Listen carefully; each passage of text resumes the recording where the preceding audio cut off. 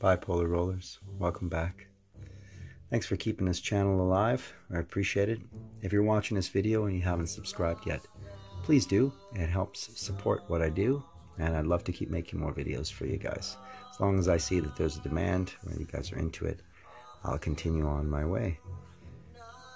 I uh, wanted to talk today about uh, a question that I was asked uh, by email that I finally got around to uh, making a video for. And that is how did I find out that I had bipolar? And uh, to be honest, it uh, came through a pretty horrific time in my life. Um, I was fighting to see my uh, daughter and uh, just dealing with the nonsense from the, you know, the new partner of the ex and just being turned away at the door and just be having life made extremely difficult for me and just trying to maintain you know a relationship or, you know leave phone calls messages and stuff. She didn't get any messages uh, wouldn't let her answer the phone or, or uh, wouldn't tell her that i called things like that. I hit an all-time low. I was very depressed and started acting out you know um, i started self-medicating and uh, just trying to figure out how to get around this horrible depression, you know, uh, because as some of you know, um, when uh, games are played with custody or you uh, have trouble seeing your your children uh, due to uh, resistance from the ex-partner, it takes a hell of a toll on you, uh, depression-wise. So. I actually went to the walk-in center at the local university here to uh, see a psychiatrist because I needed somebody to talk to. And I felt like nobody could really relate to what was going on.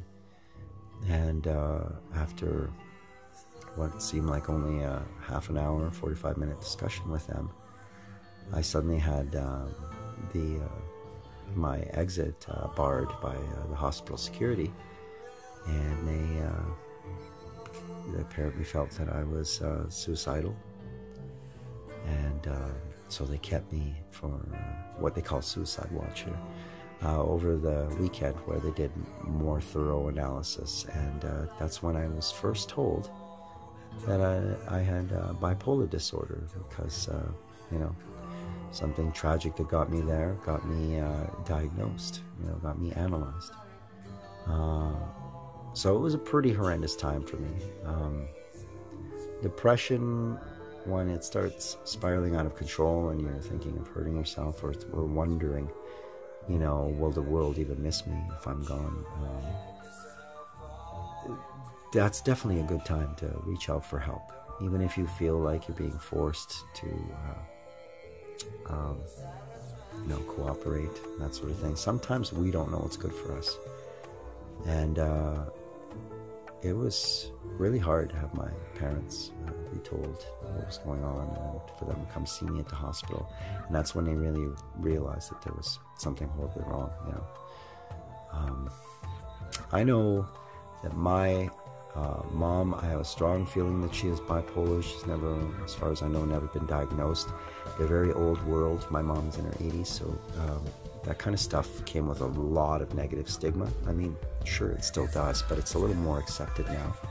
Back then, it was, you know, it was, you were crazy, basically, and, and, and nobody wanted that title. So my mom might still be in denial about her uh, mental health, and, and uh, I don't know if my dad had mental health issues, but I know a lot of the times these things are hereditary. So it couldn't hurt to know a little about your uh, family history to give you a kind of an idea of where it originated.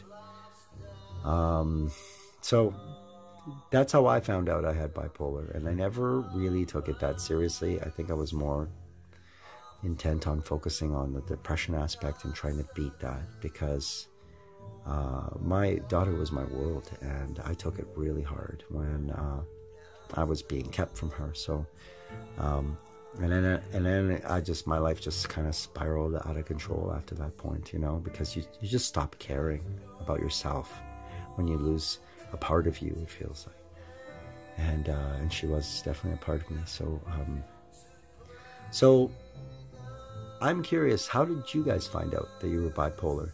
you know, did uh, you know, was it mentioned in passing by uh, friends or family? Was it just suggested to you?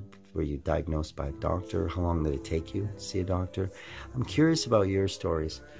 What led you to find out that you had bipolar? How did you deal with it? You know, how did you take the news?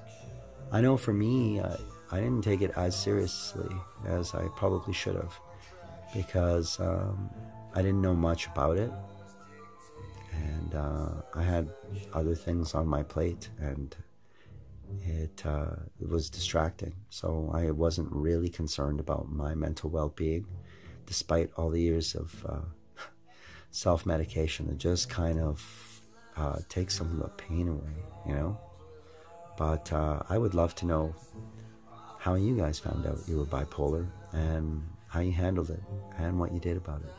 So please leave that in the comments and uh, and any ideas that you might have for other videos, things you might want to know about, things you might want me to discuss in a future video, please by all means put them in the comments or email at me at ftgusinger at gmail.com and I'd be sure to get to your email as soon as possible.